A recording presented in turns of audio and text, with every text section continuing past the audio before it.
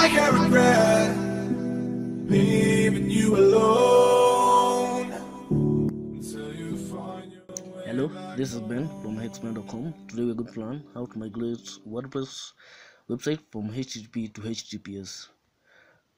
Okay, let's start. So the first thing is to update the website address URL and site address URL from HTTP to HTTPS. Make sure you make both of them HTTPS and from there we click save. From there we need to go to a cPanel and first is to show all the hidden files by clicking you know settings from above and click show hidden files. Make sure that thing is checked and save from there open the .htaccess file and edit. It's time to add the the code to redirect from there we need to add the following code into htaccess which is provided on my website so you can check the first pinned comment to see the tutorial to this and to take that call.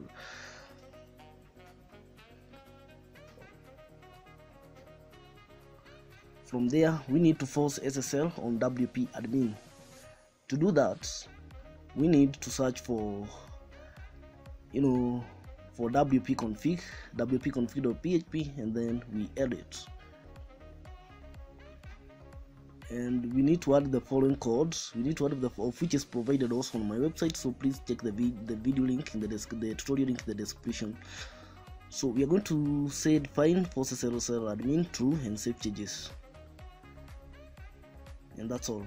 The next thing we need to make sure that images and style sheets also are fully secured. So we need to install a plugin called better search replace. And better search replace make sure we activate it then you go to from uh, make sure the plugin is active. Better search replace.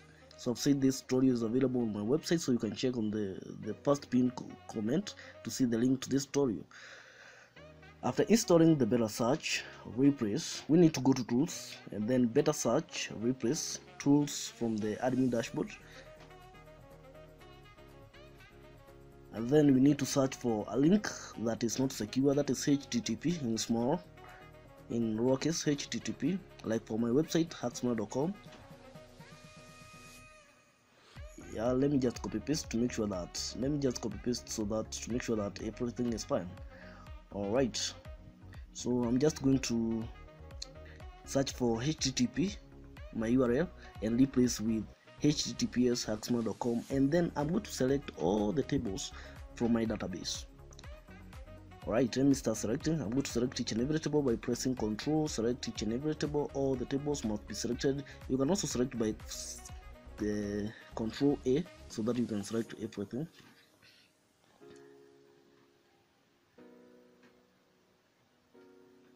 Alright, now you have selected all the tables. Let's confirm if each and every table is selected. You can see all the tables has been, uh, you know, selected. So the next thing is to uncheck run as dry. You must uncheck that and then just confirm that all the tables are selected before you run search. From there, just run search and replace. Run, click run search stroke replace and we wait for the system to process. So we are waiting for for the process to complete. So this process can take longer depending on the size of your database. So if your database is large then that means it may take a bit long. But if your website is is not large it will take a short time. Actually this is the time that I'm, I'm, migrating my website from http to https and i want us to go through this process together all right now we have completed the you know the replace. Now it's going to reload. And as you can see you know during the search replace that four tables were searched with 807 sales changed in 760 updates. So you can click there to see more details so on and so forth you know. And you can see how we have updated our table and everything seems correct. We have replaced insecure url with the secure url and that's all. I don't think there's anything more so just make sure you check the first pin comment and the link in the description to, to learn step-by-step -step method of how to migrate your WordPress website from HTTP to https so guys thanks for watching. Let me see you in the next tutorial. Thanks